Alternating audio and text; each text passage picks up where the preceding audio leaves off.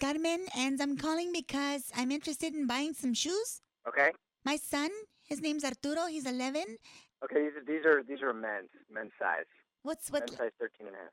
13 and a half? Yeah. Good, because his left foot is a 13 and a half. His right, though, is a seven and a half. So I was wondering if you would sell me just the left shoe. One of his feet is 13 and a half, The other is seven and a half. Yes, we call his feet Biggie Smalls. No, that's I can only sell you the pair, man. I only need the left one. What what what, what kind of person buys one shoe?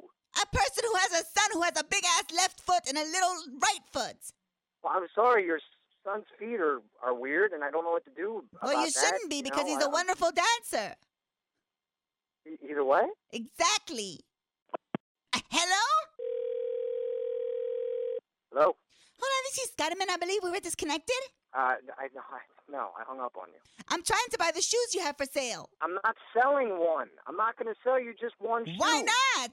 When I go to the shoe store, I just steal the one on display. What am I going to do with the other shoe? Sell it to someone who's missing a foot? I'm not going to be able to find somebody that's got a right foot. that- that Absolutely, you can find one. someone who's missing a left foot. Find someone with a limp Right. and see if their leg is wooden. Who's got a wooden leg? I, how many times? wh- wh- Where am I going to find them? Pirates.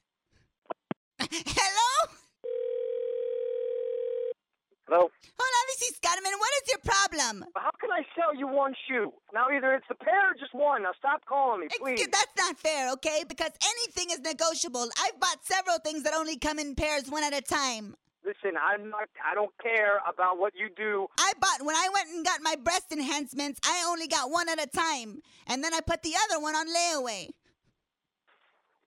Hell is wrong and if it's you? good enough for a doctor, it. it's good enough for a loser like you. I can't give you. What am I going to do with the other shoe? Shove what it would up. you do with the other shoe if I sold you one shoe? If I were you, I'd shove it up my Tell your son to come over here and I'll shove it. in his-? Ah, he's 11.